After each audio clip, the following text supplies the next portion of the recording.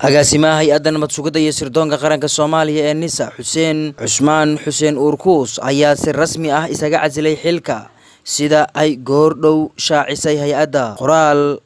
ay soo dhigtay barteeda twitter-ka ayay nisa ku tiri agaasimaha guud ee hay'adda sirdoonka iyo nabad sugidda qaranka soomaaliyeed ee nisa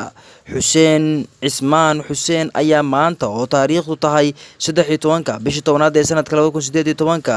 sababo asaga u gaar ah awgeed warqadiisii iscasilaada u gudbiyey madaxweynaha jamhuuriyadda federaalk soomaaliya.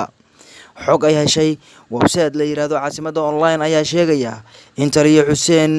cusmaan xuseen uurkuus la filayo in uu isku sharaxo xilka madaxweynaha koonfur galbeed ee soomaaliya oo doorashadiisa ka dhici doonta magaalada baydhabo.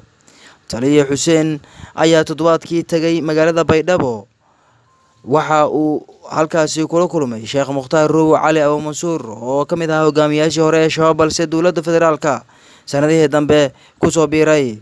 islamarkaana u sharaxan inuu noqdo madaxweynaha dowlad goboleedka koonfur galbeed soomaaliya xuseen ayaa ka codsaday roobow in uu iska dhaafo doorashada uu rabo inuu ka qayb galo inkastoo uu ka biyadiiday si kastaba ahaatee roobow